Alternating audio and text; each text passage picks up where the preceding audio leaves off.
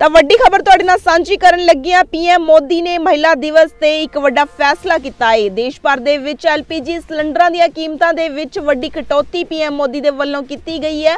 ਤੁਹਾਨੂੰ ਦੱਸ ਦਈਏ ਕਿ ਸਿਲੰਡਰਾਂ ਦੀਆਂ ਕੀਮਤਾਂ ਤੇ 100 ਰੁਪਏ ਦੀ ਛੋਟ ਦਾ ਐਲਾਨ ਮੋਦੀ ਸਰਕਾਰ ਦੇ ਵੱਲੋਂ ਕੀਤਾ ਗਿਆ ਹੈ। ਜੀ ਹਾਂ, ਕਰੋੜਾਂ ਪਰਿਵਾਰਾਂ ਦਾ ਆਰਥਿਕ ਬੋਝ ਘਟੇਗਾ ਪੀਐਮ ਮੋਦੀ ਦਾ ਕਹਿਣਾ ਹੈ ਅਤੇ ਉਹਨਾਂ ਨੇ ਕਿਹਾ ਹੈ ਕਿ ਇਹ ਕਦਮ ਵਾਤਾਵਰਣ ਦੀ ਸੁਰੱਖਿਆ ਦੇ ਵਿੱਚ ਵੀ ਸਹਾਈ ਹੋਵੇਗਾ। ਤਾਂ ਬੇहद ਅਹਿਮ ਔਰ ਵੱਡੀ ਖਬਰ ਤੁਹਾਡੇ ਨਾਲ ਸਾਂਝੀ ਕਰ ਰਹੇ ਹਾਂ ਚੜ੍ਹਦੀ ਕਲਾ ਟਾਈਮ ਟੀਵੀ ਤੇ।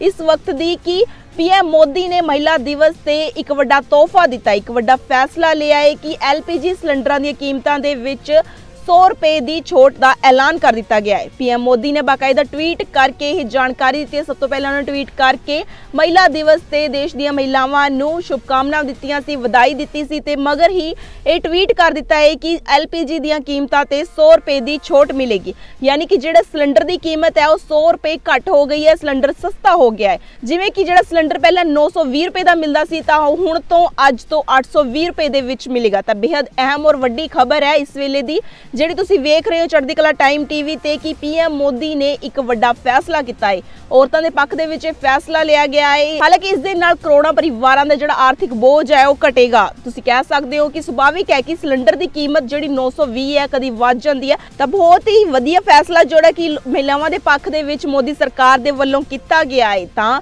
ਇਸ ਵਕਤ ਦੀ ਵੱਡੀ ਖਬਰ ਇਹ ਤੁਹਾਡੇ ਨਾਲ ਸਾਂਝੀ ਕਰ ਰਹੀ ਹਾਂ। ਪੀਐਮ ਮੋਦੀ ਨੇ ਬਕਾਇਦਾ ਟਵੀਟ ਕਰਕੇ ਇਹ ਜਾਣਕਾਰੀ ਦਿੱਤੀ ਹੈ। ਮਹਿਲਾਵਾਂ ਨੂੰ ਵੱਡਾ ਤੋਹਫਾ ਦਿੱਤਾ ਹੈ